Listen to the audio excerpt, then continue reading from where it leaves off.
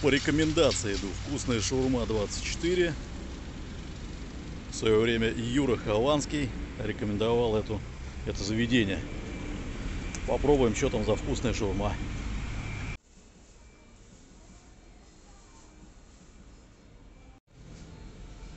Довольно чисто. Довольно чисто внутри. Вот так выглядит. Точка.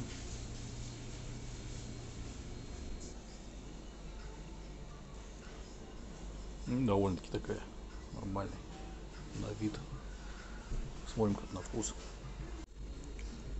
Ну, в целом аппетитно, нормально. Неплохая, кстати. Нормально. Ребят, ну в целом так. Я бы пятерочку я не поставил. Ну так, 4. А, тоненькая. А мяса, ну, не особо много. Так перекусить сойдет. Но планочка, конечно, да, дороговато.